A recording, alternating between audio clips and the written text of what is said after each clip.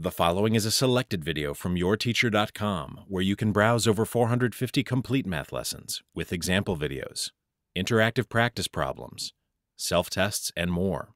Try a complete lesson today at yourteacher.com. As your first step to this problem, change all your minus signs to plus negatives. So we have 9x plus negative 3y plus negative 10x plus negative 8y.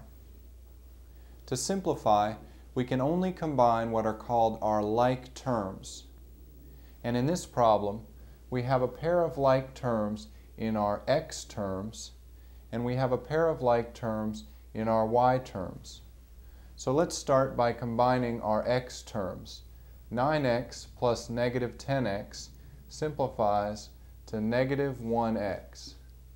Now let's combine our y terms. Negative 3y plus negative 8y simplifies to negative 11y. So our answer is negative 1x minus 11y.